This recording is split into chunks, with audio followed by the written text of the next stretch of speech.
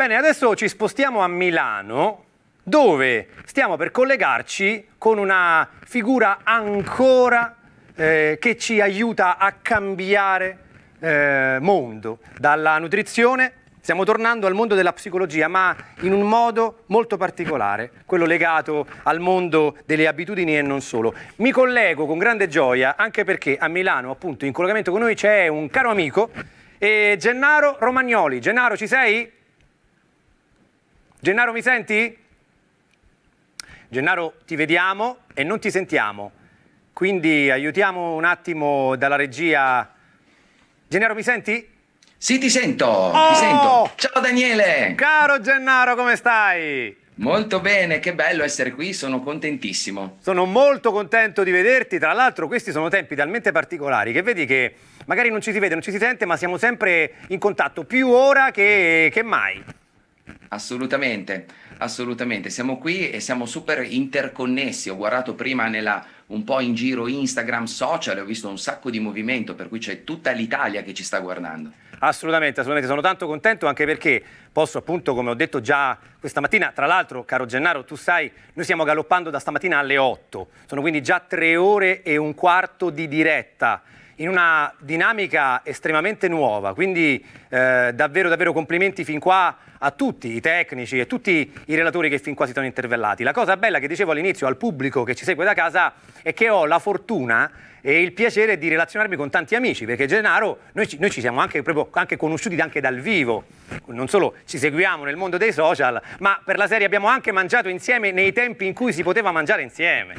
È vero, che mangi- e che mangiata! Mi ricordo quando ancora ti scambiarono per Fabio Volo. E eh certo, certo. Poi, poi quella, quella, è, quella, è, stata la mia condanna. Da quel momento in poi non, non, non, posso più andare in quel ristorante perché ogni volta che vado tirano fuori quella storia. Che poi che ci azzecco io con Fabio Volo? Vabbè, amici da casa, ma io c'entro qualcosa con Fabio Volo. Comunque, detto questo, caro Gennaro, vai alla grande sui social, ti seguo sempre, tu lo sai.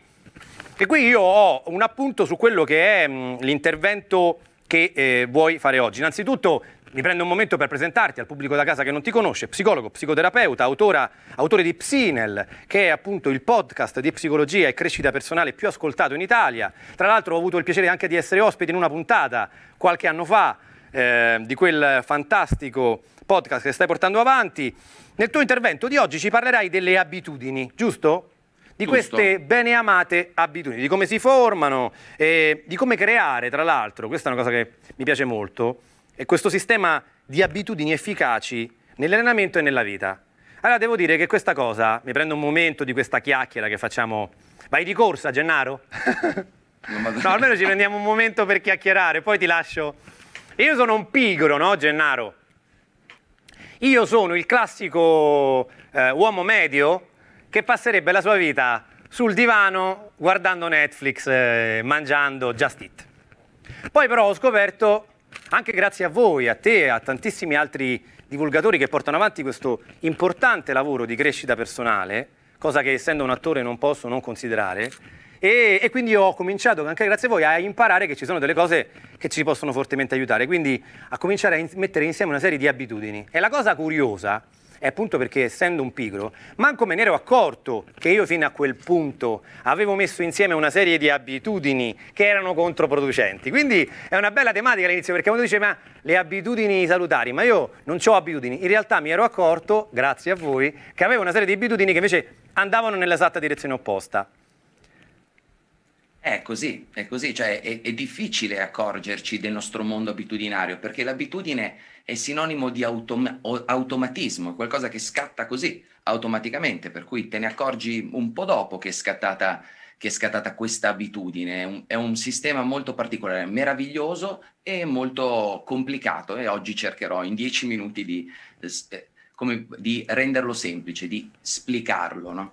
Caro Gennaro, allora come dico ti lascio lo schermo, ti lascio il palco, ci vediamo più tardi. Vai Gennaro.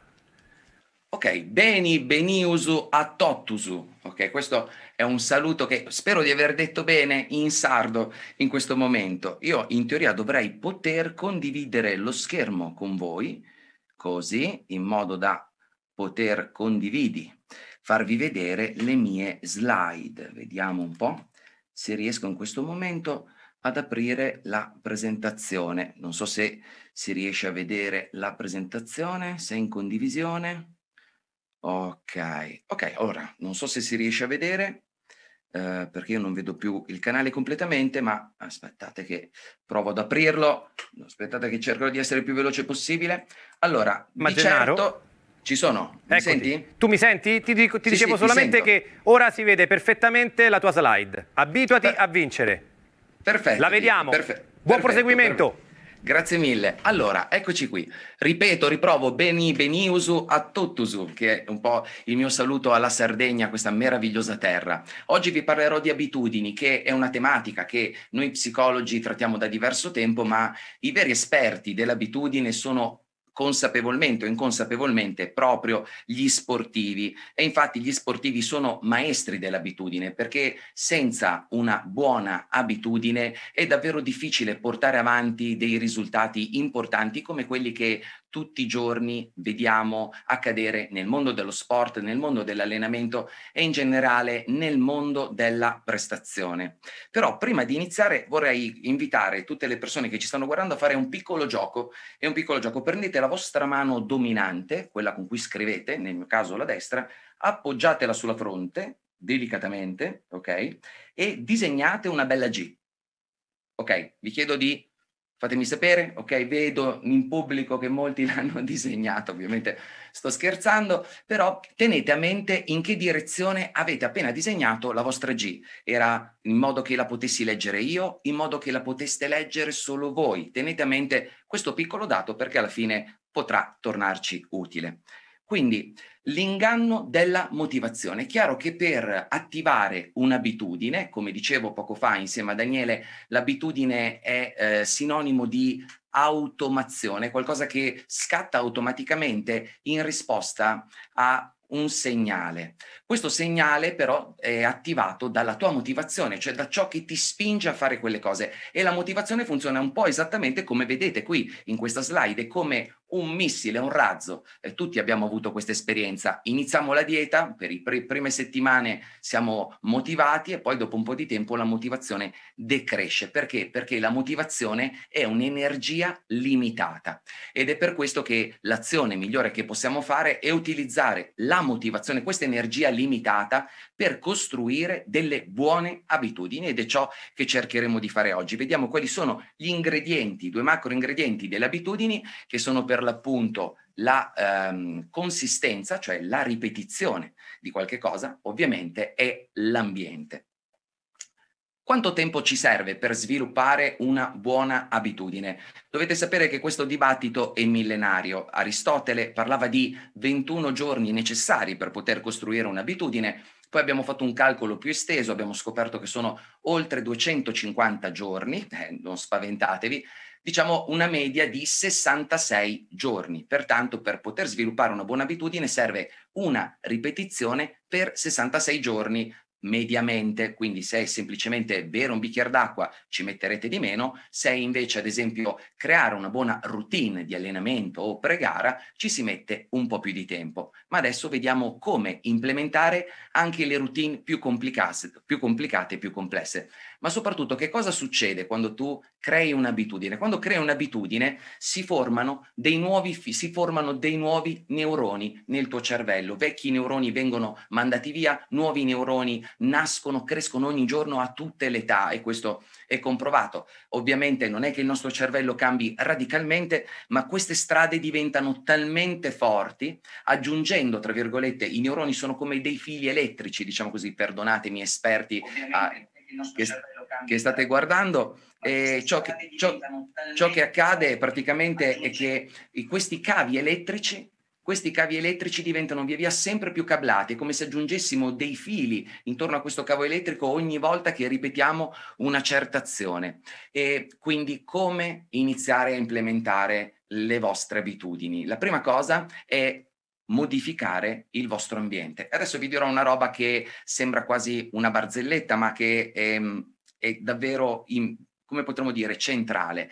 Se al supermercato non compri la Nutella, la Nutella non la mangi. adesso per Nutella, qualsiasi altro tipo di, di cibo non, eh, diciamo così, eh, sconsigliato per chi desidera ad esempio fare una dieta, ecco, mettiamola così. Questa regola, che è stata creata da uno psicologo molto famoso che si chiama Sean Acor, è stata comprovata da numerosi studi. In altre parole, più una cosa è vicina a te e più facilmente la utilizzi. Sembra la scoperta dell'acqua calda, se ci pensiamo, però è molto più profonda di quanto possiamo mai immaginare. Perché una cosa vicina a noi è più semplice da utilizzare? Perché la motivazione necessaria, quel missile che abbiamo visto prima, si abbassa, diciamo la energia di attivazione dell'abitudine si riduce al minimo. Pertanto il primo consiglio è proprio quello di strutturare un ambiente fatto in tal modo. Questo, ripeto, sembra un po' una piccola barzelletta, ma non la è per niente. Infatti eh, Richard Taylor, con questo libro famosissimo in Italia, Nudge, la spinta gentile, non solo ha portato questo concetto di modifica dell'ambiente in modo che l'ambiente diventi il contesto che attiva nuove abitudini, nuovi comportamenti, ma dovete sapere che Richard Taylor nel 2017 in parte anche per queste scoperte, ha vinto il premio Nobel. Cioè, in altre parole, stiamo parlando di una roba che sembra la scoperta dell'acqua calda, ma non lo è per niente. Quindi, se voi volete migliorare le prestazioni sia vostre, dei vostri atleti, dovete disegnare un ambiente che faccia scattare facilmente le nostre abitudini. Tuttavia, le abitudini non sono tutte così semplici, potremmo dire. Le abitudini hanno, eh, hanno dei gradi di complessità differenti e pertanto adesso vi mostro uno schemino per la costruzione di una qualsiasi abitudine anche molto complessa. Questo schemino è di un collega che si chiama BJ Fogg, più tardi magari farò una piccola rassegna bibliografica, ed è composta in tre parti. Per l'appunto abbiamo ehm, la mini versione dell'abitudine, cioè significa prendete l'abitudine complessa e fate in una mini versione. Se ad esempio volete imparare a meditare e dovete o dovreste meditare mezz'ora, iniziate a, medi- a fare cinque respiri tutti i giorni. Questa è la mini versione. Se eh, volete imparare a, a, suonare la chitarra, prendete la chitarra e decidete di suonarla per tre minuti, cinque minuti o di fare due movimenti con le dita. In altre, in altre parole, dovete prendere la versione della vostra, eh, della vostra abitudine e farne un modello piccolino. Successivamente, uno degli aspetti più importanti è questo, identificare dei segnali di azione, cioè dei segnali contestuali. È proprio questo che hanno scoperto i miei colleghi, che nel momento in cui devi cercare di capire in quale punto inizia, finisce una certa abitudine, in quale modo si implementa all'interno della nostra vita, l'aspetto più semplice da modificare è la qualità dello stimolo contestuale. È infatti lo stimolo contestuale quello che fa scattare le nostre abitudini. Vi sembrerà assurdo, ma se andate a leggere il libro di Taylor scoprirete delle cose pazzesche. Ad esempio, sono riusciti a modificare l'abitudine all'interno di una scuola superiore nel consumare bevande gasate.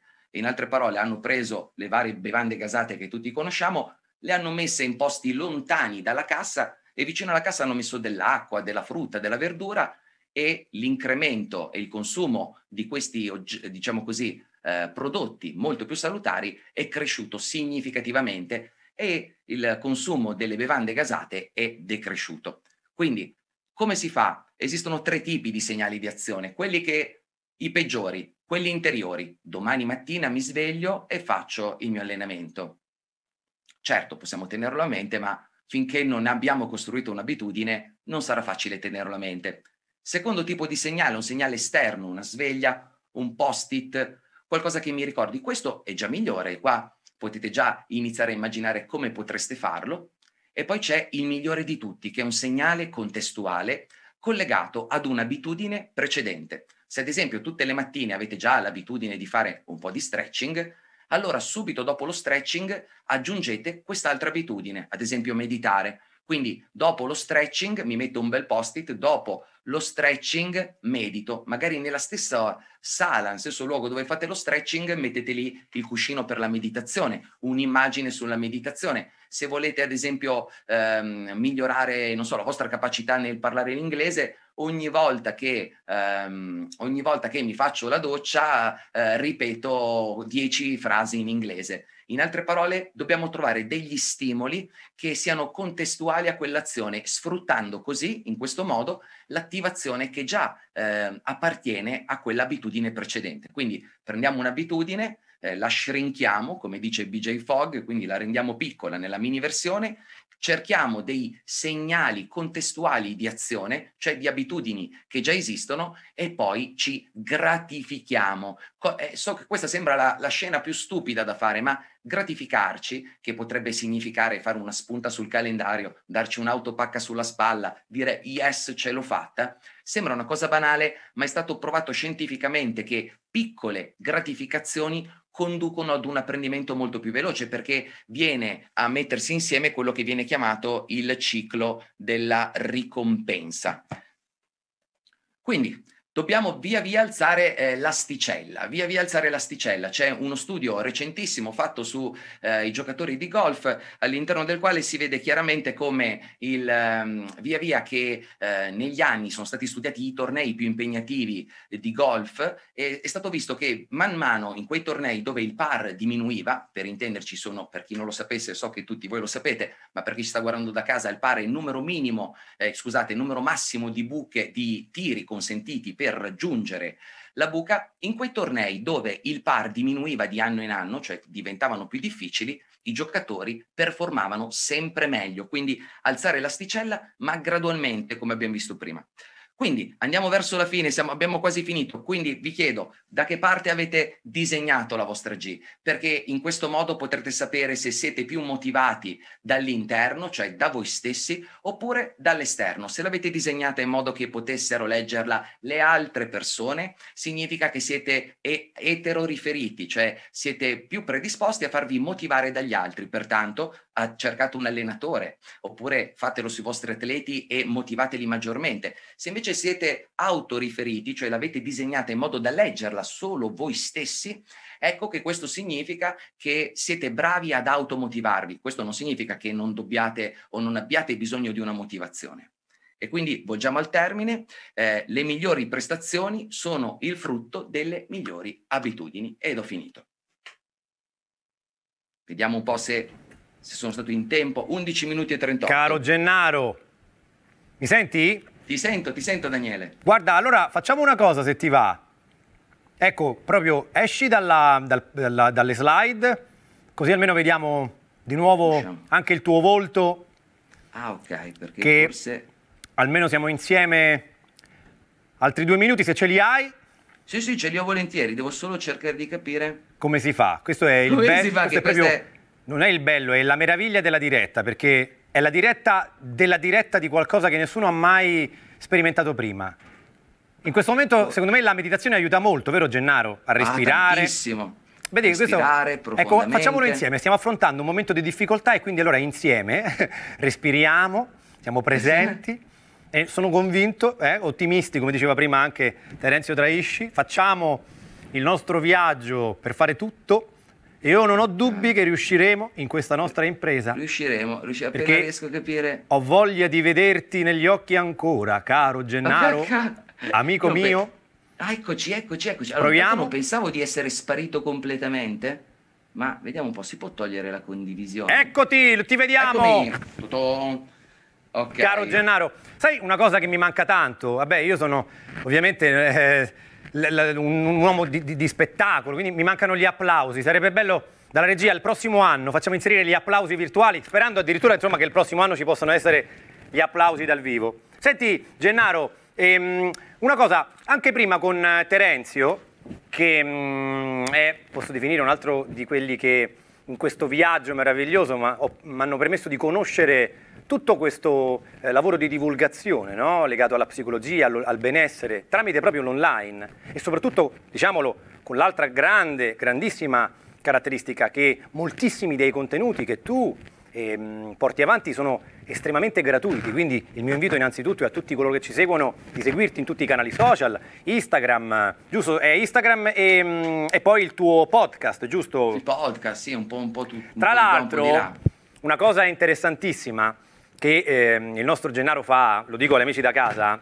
è che appunto quando lui ha, aveva, non so se la parti ancora avanti questa abitudine, ma quando avevi la possibilità di camminare e di spostarti per il lavoro, facevi le stories e rispondevi a tutti quelli che ti facevano domande. Forse ora non le puoi più fare perché ricevi troppe domande. No, no, c'è ancora, c'è ancora la passeggiata che è metà fuori quando posso, con la mascherina che non è bellissimo, però è giusto tenerla, e l'altra metà le faccio qua in casa, la chiamo la non passeggiata. Ecco. Perché l'hai dovuta hai dovuto trovare un'evoluzione perché originariamente era una passeggiata che tu facevi proprio veramente al lavoro, andavi, cioè ti spostavi, all'andata raccoglievi le domande, poi ritorno, rispondevi, no? Una cosa del genere. E da lì che io ho cominciato un po' a seguirti e poi ho avuto il grande piacere di conoscerti dal vivo. Senti, Gennaro, esattamente come ho fatto con Terenzio. Eh, ti andrebbe di, dimmi se è una cosa non provata, quindi ti andrebbe di, di guida, io mi offro come cavia, facciamo un esercizio di un minuto, sono una cavia, usiamo un minuto per condividere, eh, se ce l'hai, un esercizio che tutti coloro che sono a casa poi possono fare, un esercizio che ci possa aiutare, credo, in questi giorni a ritrovare una calma, una centratura, oppure sceglilo tu l'argomento, io sono la tua cavia, che mi fai fare?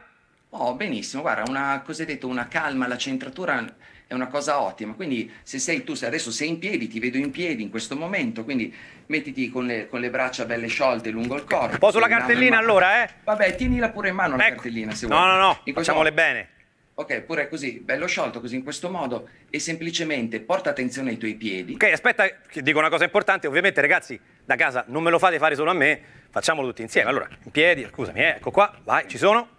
Porta attenzione ai tuoi piedi e per prima cosa nota se senti più un piede o più l'altro, se ti sembra di sentire più il piede destro più se, il piede sen, sinistro. Dottore, sento più il destro, sento più il Bene. destro, dottore. Bene, eh, ecco, attenzione, dovresti chiamare... Scherzo. No, no, no, è grave? Sono grave, dottore? No, no, non è grave, sei vivo, sei vivo. Questa è una particolarità che magari ci spiegherà Barbascura dopo se è un complotto oppure, oppure no. Eh, oppure no. Eh, quindi porta attenzione, portate attenzione ai vostri piedi, al vostro corpo, sentite okay. il vostro corpo provate a notare davvero questa sensazione di essere vivi.